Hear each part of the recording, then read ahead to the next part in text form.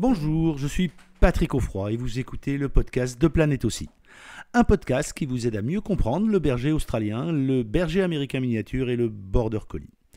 Avec ce podcast, ma mission est la même que depuis des années, faire connaître, apprécier et respecter le berger australien. Chaque semaine, je vais également faire le maximum pour vous, pour vous, faire découvrir les méthodes positives et bienveillantes d'éducation qui vont avec l'intelligence hors norme de ces merveilleuses races. Et si vous aimez les podcasts de Planète aussi, je vous invite à vous abonner au podcast pour être notifié de la sortie des prochains épisodes chaque semaine. Le sujet aujourd'hui, c'est j'ai un chiot de deux mois et demi. Elle a déjà acquis le assis, le à ta place, on bosse le coucher et le reste, et c'est vraiment un chien génial. Les bergers australiens, les mini aussi, les border collies adorent apprendre. Et vraiment, c'est toujours un plaisir d'apprendre aux jeunes chiots des, des choses qui sont importantes pour nous. Et les bases de l'éducation, bien sûr, elles doivent être acquises. Et certains vous diront le plus tôt possible. Si vous avez dans vos archives euh, un ancien DVD, le premier DVD qui est paru sur le clicker, qui s'appelait Le clicker dans tous ses états, vous pourrez d'ailleurs me voir avec euh, des chiots bergers australiens de cette semaine à qui on apprend à s'y coucher au clicker. C'était une époque où on pensait que le clicker était cet outil magique qui nous permet d'apprendre plein de choses aux chiens et aux chiots. Et c'est vrai que c'est un outil magique le clicker, il n'y a pas de débat à avoir là-dessus. Mais, mais presque 15 ans ou 18 ans après, euh, je ne suis pas sûr qu'aujourd'hui je recommencerai avec jeunes chiots. Pourquoi? Parce qu'il y a tellement d'autres choses à faire. L'éducation avec le chiot, c'est important. Mais ce qui est surtout important avec un jeune chiot, c'est créer du lien, apprendre à le connaître. Apprendre à le connaître, ça veut dire euh, s'adapter à son rythme de vie et ne pas l'obliger lui à s'adapter à notre rythme de vie, son rythme de sommeil, où est-ce qu'il aime être caressé, comment il se déplace, euh, est-ce que c'est un chien, un chiot vif qui va aller vite quand des gens arrivent, et peut-être qu'il va faire la même chose avec euh, des chiens, et quand il va rencontrer des chiens adultes, ça va peut-être poser des problèmes, même si c'est un chiot et qu'il arrive très très vite vers des adultes, l'adulte peut être non consentant à une relation de ce type, et sans parler d'accident, l'interaction peut être négative à cause du fait justement qu'il va débouler trop vite vers un congénère. Les autocontrôles, apprendre au chien à se poser, apprendre au chien à ne pas demander sans arrêt des choses, récompenser le calme, apprendre au chiot que c'est pas obligé qu'il soit en train de sauter partout, de faire des choses pour qu'on s'intéresse à lui. S'adapter au rythme de ses balades, lui faire découvrir, découvrir, découvrir. Ça ne veut pas dire euh, aller à la One Again avec euh, le chiot en libre au milieu d'un parc et voyons comment ça se passe.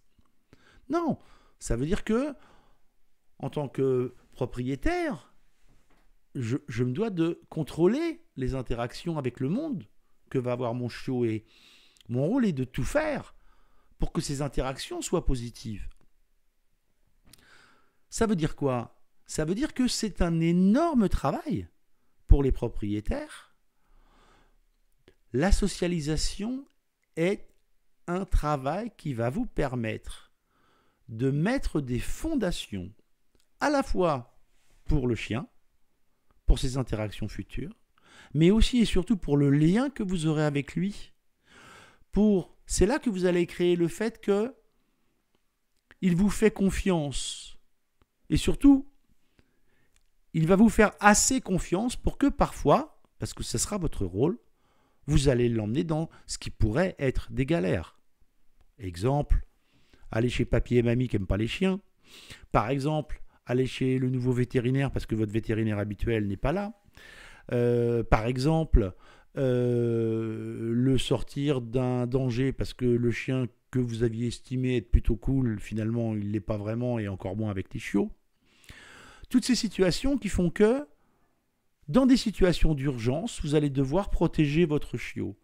Et il acceptera d'autant plus que vous le protégiez si a confiance en vous. Cette confiance, elle se crée, elle se construit tout le long de la vie du chien, tout le long de la vie du chiot, mais surtout, chaque minute que vous investissez dans la socialisation, dans une approche au monde épanoui, en essayant de mettre dans la tête du chiot que, et c'est ce qu'on a fait pendant des années à l'élevage Born in Rosebud, la nouveauté c'est fun. C'est vraiment ça que le chiot doit comprendre. La nouveauté c'est fun. Parce que vous pourrez lui faire voir des tonnes et des tonnes de choses, et ça fait partie de la socialisation. Il doit avoir des interactions positives à chaque fois. Et ça, chaque minute que vous construisez, vous en gagnerez 100 dans toutes les années que vous allez partager ensuite avec votre chiot, que ce soit un berger australien, un mini aussi ou un border collie. Parce que ces races sont tellement sensibles, ces races sont tellement éveillées, curieuses, que parfois la curiosité va les emmener trop loin. Et ce qui va les faire revenir, c'est le lien que vous allez réussir à construire avec eux. Alors attention, loin de moi l'idée de dire que il ne faut pas faire de l'éducation jeune, bien sûr. Mais pour moi, cela ne doit pas être la priorité. La priorité, c'est apprendre à votre chiot que vous êtes toujours là pour lui, que vous êtes quelqu'un de bienveillant même quand il se trompe, et que le monde l'attend et qu'il peut évoluer dans ce monde sereinement et que la nouveauté, c'est fun. Merci d'avoir écouté ce podcast jusqu'au bout. J'espère que l'épisode vous a plu. Avant de vous quitter, je vous invite, euh, comme toujours, à vous abonner au podcast pour ne pas manquer les prochains épisodes et surtout, n'oubliez pas de laisser une note 5 étoiles et un commentaire sur Apple Podcast. Cela vous prend moins d'une minute et vous n'imaginez pas à quel point cela aide à faire connaître le podcast à plus de monde. Et en plus, je suis toujours content de lire tous les commentaires. N'oubliez pas d'aller voir également le site planètebergeraustralien.com, tout attaché en un seul mot sans accent, pour d'autres ressources. Amitié du Tarn et à très bientôt sur le podcast Planète aussi.